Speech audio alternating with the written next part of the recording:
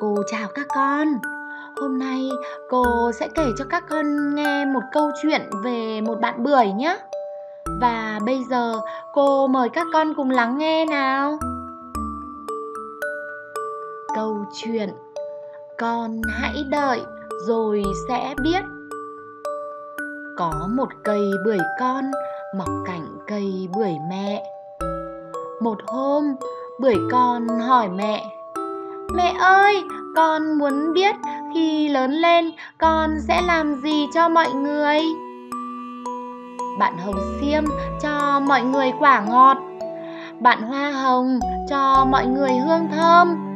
Bạn bàng cho mọi người bóng mát. Còn con có thể làm được gì hả mẹ? Bởi mẹ trả lời, con hãy đợi rồi sẽ biết. Nghe lời mẹ, bưởi con chờ đợi. Mùa xuân đến, bưởi con nở đầy hoa. Ai đi qua cũng tấm tắc khen. Ôi, hoa bưởi trắng đẹp và thơm quá, thơm quá. Bưởi con sung sướng nói với bưởi mẹ. Mẹ ơi, con đã mang đến cho mọi người hoa đẹp và hương thơm. Nhưng rồi một ngày nọ, những cánh hoa của bưởi con rụng xuống, bưởi con buồn lắm. Mẹ ơi, những cánh hoa của con rụng hết rồi. Mọi người sẽ không còn cần con nữa. Con phải làm gì bây giờ? Hãy đợi rồi con sẽ biết. Bưởi mẹ nói. Tin lời mẹ, bưởi con yên tâm chờ đợi. Thời gian trôi đi, những quả bưởi nhỏ xíu, xinh xắn xuất hiện dần. Bưởi con mừng lắm. Một hôm có một cậu bé hái quả bưởi ăn thử. Cậu kêu lên: "Ôi, cay quá!" Và cậu ném quả bưởi đi.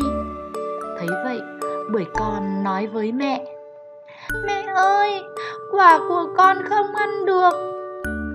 Bưởi mẹ bảo Con đừng buồn, con hãy đợi rồi sẽ biết.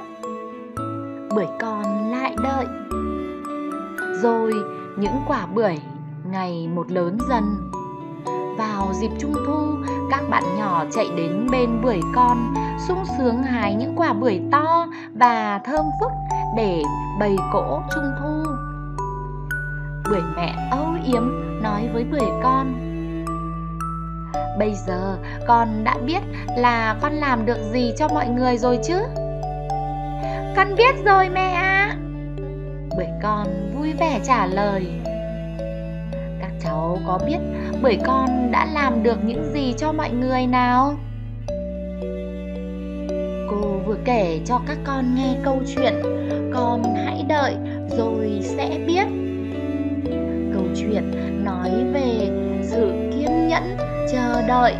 Đến lượt mình. Các con không nên nóng vội nhé. Và câu chuyện cô kể đến đây là hết rồi. Xin hẹn gặp lại các con ở những video tiếp theo.